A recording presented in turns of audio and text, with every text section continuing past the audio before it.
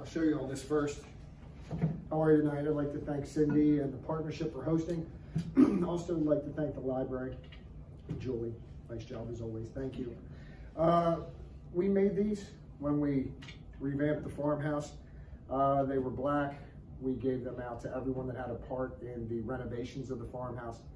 Um, after the fact, I had a case made for dignitaries when they visited the farm.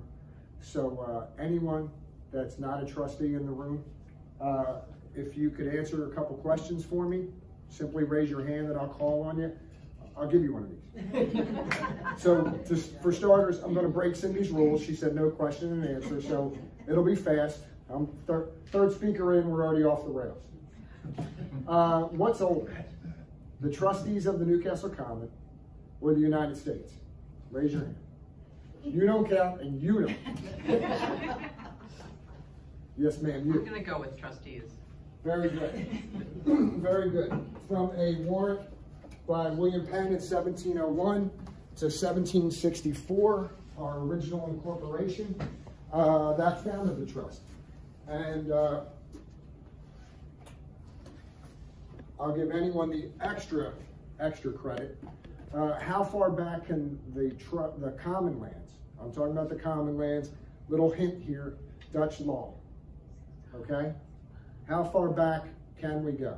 How far back does the trust? Go ahead, Mr. Mayor Smart Aleck. no, let's, let's see. No, go ahead. Ellie, Ellie. Oh, oh. Go ahead. Hang on. I, I just before you say it.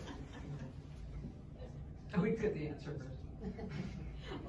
Go ahead, Ellie. I'm just gonna say sixteen forty. You're close. You're close. Anyone?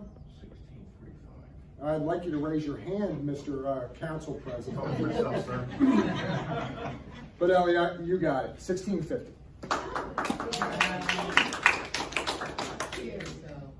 Under Dutch law, we can trace our roots.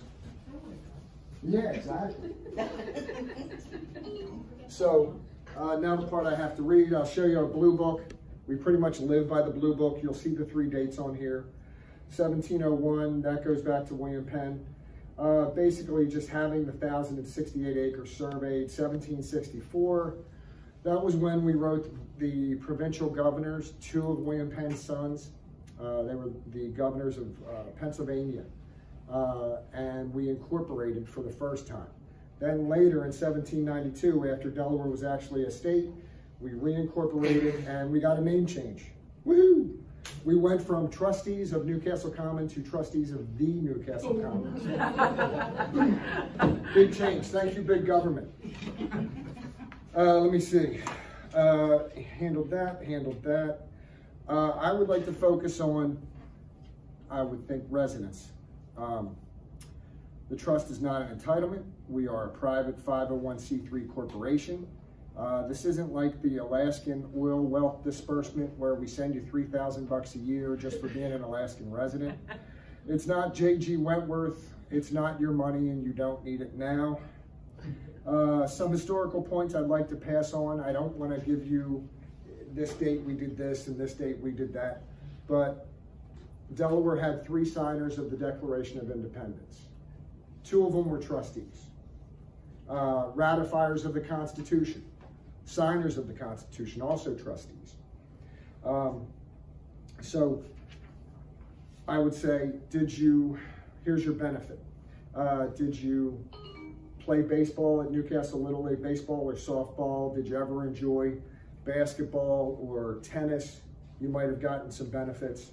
Uh, were you or your children able to take advantage of the scholarship program?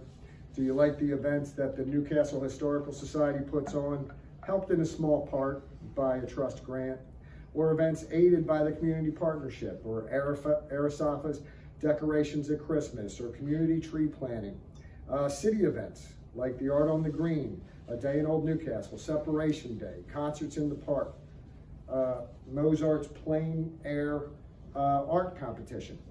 Did I say that right, Dennis? Just about. Very good. we also uh, help nonprofits beyond the Little League. We help Friends of Bellanca, Goodwill Fire Company, New Castle Public Library, New Castle Senior Center, the list goes on. Uh, the trust owns the old library, the building that we're standing in, the new library, the expansion of the library, Old Town Hall, uh, the building that we occupy, Penn Farm number six, and about sixty-five acres there.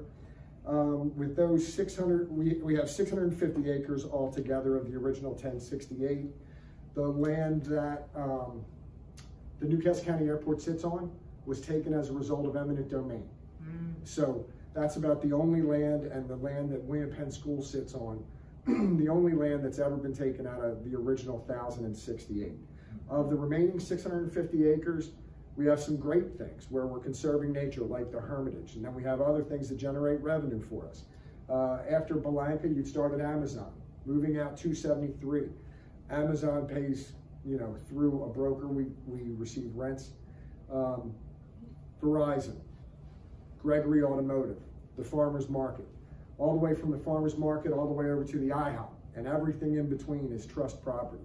That's where we get some of our revenue. Moving down the DuPont Highway, um, Aunt Berta's, you might have seen Aunt Berta's open, the Dunkin' Donuts, the former Tremont Motel, Glacier Auto, Penn Mart Shopping Center. Sounds good. I'm going to go past it, Matt. I apologize. I'm not done with our land yet. Uh, the Air Base Carpet Mart. Go across the road. You've got the Burger King and the car rental place up to the Korean Church. The Korean Church, the Milex. There's a little former communications booth. Uh, and with that, about $1.8 million. We give back 99% between maintenance of all of our properties and all the grants that I kind of ran through quickly. That's all I got. Thanks so much.